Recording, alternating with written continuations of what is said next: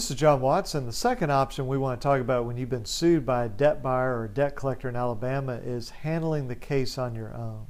So, what does that mean? Well, that means that you would make sure and respond to the lawsuit. That's filing an answer or whatever you want to file. And then, if it comes up that there's discovery, maybe there are depositions being taken or written questions being posed to you, you handle that. Uh, but in district court and small claims court, that's very rare. Actually, small claims court, it never happens. And then you would also go to trial.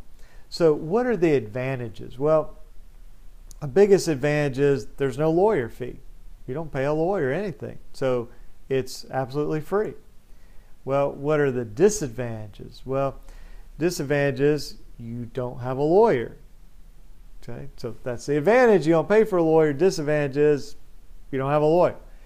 And the question is, uh, does it make sense to go into one of these cases without a lawyer? Now, there, you know, you might be listening to this going, well, obviously this guy's going to say, no, you have to hire a lawyer. Because, look, I make money by people hiring me. But I'll tell you this there are a lot of these cases that you can handle on your own. And a lot of times I talk with people and I say, this is a very legitimate, viable option for you, and that is to handle the case on your own. And so let's talk about that. The highest level court we have is what's called circuit court. That's where we have jury trials, we do car wreck cases, etc. The level below that's called district court, and then a part of district court is called small claims court. If you're in circuit court, that is a difficult place to handle a case on your own. Now, you can do it. I've had people go and win cases on their own in circuit court, but that's very difficult to do.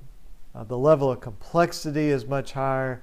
We have what's called discovery, and I mentioned that a moment ago things like depositions, uh, written discovery, it's called interrogatories, request for production, request for admissions, all these things that the collector and the lawyer will start sending to you and now you've got to address those. And you have to do it within the time limits and within the rules, or there could be bad consequences. So, circuit court is not usually a good way or a good place to handle a case on your own to fight it. Now, if you're in district court or small claims court, normally that's the same judge, then those can quite often be a very good place to handle. Now, here's something I'm going to say, and you're going to go, well, yeah, obviously this is nothing, you know, particularly insightful. But let me just say it anyway. Everything you do you do in life, you're going to spend money, or you're going to spend time. I don't really know of any exception to that. You know, you think about uh, you have a problem with your car. I need to change oil. What do you do? Well, you can say, I don't want to spend any money. That's fine then change it yourself. Or you can say, I do not want to spend any time changing the oil. I don't know how to do it, or I don't want to know how to do it, or I know how to do it, I just don't want to do it. Well, then hire somebody. Take it to, you know, a quick change place, take it to a dealership, wherever you want to take it. Is there a right or wrong answer? No, there's no right or wrong. It's just what is best for you. So this option of fighting it on your own is where you say, I'm not going to spend any money, but I will spend time.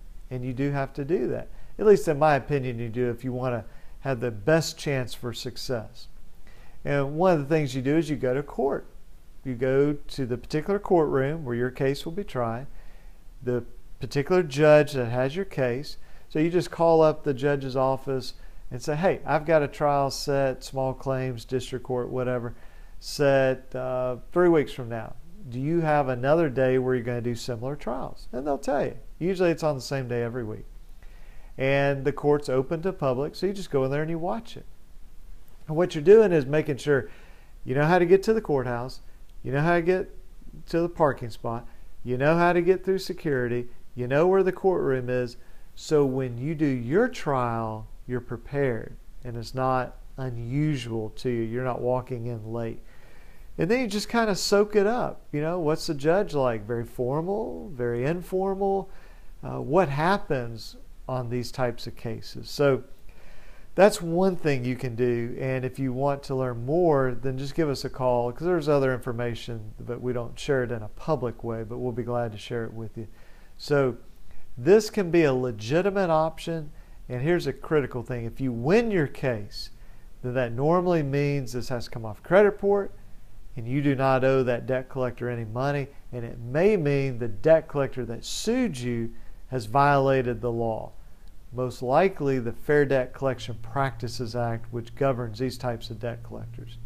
So I hope that this has been helpful to you. Uh, we've talked in a previous video about bankruptcy, and now in this video, fighting the case on your own. There's also settling the case on your own, or hiring a lawyer to fight, or hiring a lawyer to settle the case. So, really, those five options, and normally uh, well, I'm going to say this I've never seen a situation where all five options apply to everybody, but you need to go through the process. I hope this is helpful in going through the process and thinking through fighting it on your own.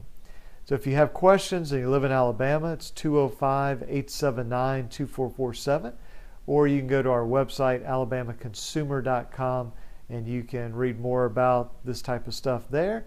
And you can also fill out a contact form and we'll get back with you. Thank you very much.